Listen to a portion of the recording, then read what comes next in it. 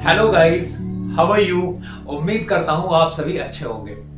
Guys जैसा कि आप जानते हैं कि हम इंग्लिश बोलते टाइम बहुत सारी चीज़ों का यूज़ करते हैं। उनमें से इंट्रोडक्शन होता है जो मैं आपको पहले वीडियो में बता चुका हूँ। ऐसे ही एक ज़रूरी टॉपिक होता है हमारा डेली रूटीन आप सुबह से लेकर सोने तक के टाइम तक आप क्या करते हैं? आपकी पूरी दिनचर्या क्या है?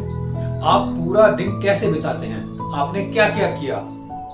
हम वो सारी चीज़ें वन बाय वन बताते हैं अपने डेली रूटीन में।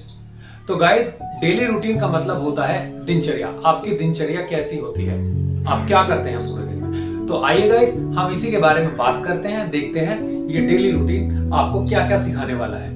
तो देखिए, सभी का डेली रूटीन अपना अलग अलग होता है।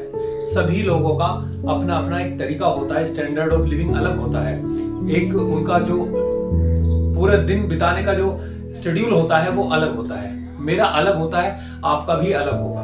ऐसे ही जो मैं ये लेके आया हूँ डेली रूटीन ज़रूरी नहीं है आप पे फिट बैठे। लेकिन ये एक ओवरव्यू है, ये एक तरह से हम कह सकते हैं, ये एक कॉपी है, जिसको आप अपने टाइम के हिसाब से सेट कर सकते हैं। तो आइए देखते हैं। यहाँ पर आप देख रहे हैं डेली रूटीन अब इसमें हम देखते हैं, हम वन बाय वन कैसे कैसे करते हैं। ये बेसिकली बच्चों के लिए है जो स्कूल जाते हैं। उन बच्चों के लिए है और इसको जो बड़े हैं, जो अपने इसको लाइफ में यूज़ करना चाहते हैं, वो भी इसमें थोड़ा सा चेंज करके यूज़ कर सकते हैं। जैसे I wake up early in the morning मैं सुबह उठता हूँ। वेकअप का मतलब होता है जागना। मैं सुबह जागता हूँ जल्दी इन द मॉर्निंग सुबह के समय में एट अराउंड लगभग 5:30 एम लगभग साढ़े पाँच बजे मैं उठता हूँ। पाँच बजकर तीस मिनट पर मैं उठता हूँ या जागता हूँ। I get myself ready for the school मैं अपने आप को स्कूल के लिए तैयार करता हूँ। मतलब मैं स्कूल के लिए तैयार होता हूँ। गेट माई सेल्फ रेडी तो गेट रेडी का मतलब होता है तैयार होना। तो जब आप तैयार होते हैं, तब आप यूज़ करते हैं get ready for the school my school bus picks me up मेरी स्कूल की बस मुझे लेती है पिक्स मी अप तो पिकअप का मतलब होता है कहीं से रिसीव करना। जब गाड़ी आपको उठाती है, आपको लेती है, तब वहाँ पर हम यूज़ करेंगे पिक्स अप तो my school bus picks me up at the bus stop bus stop से मुझे लेती है। देयर आफ्टर उसके बाद I study in the school मैं स्कूल में पढ़ाई करता हूँ। आई स्टडी यहाँ पर आई स्टडी स्टडी मतलब पढ़ाई करना, अध्ययन करना I study in the school मैं स्कूल में पढ़ाई करता हूँ विद द ग्रेटेस्ट कंसंट्रेशन मतलब मैं महान कंसंट्रेशन के साथ अपने पूरे ध्यान से मैं अटेंशन होकर अपने टीचर्स के साथ, कहने का मतलब ये है कि I study in the school मैं पढ़ाई करता हूँ स्कूल में विद द ग्रेटेस्ट कॉन्सेंट्रेशन महान ध्यान के साथ, अपने बड़े से ध्यान के साथ, अपने अच्छे ध्यान से और अटेंशन और पूरे सावधानी से टुवर्ड्स माय टीचर अपने टीचर के प्रति लेक्चर्स में। जो टीचर्स के लेक्चर्स होते हैं, उनमें मैं बहुत ध्यान से अपना पूरा फोकस पढ़ाई पर करता हूँ। I try my level best मैं अपना भरसक प्रयास करता हूँ।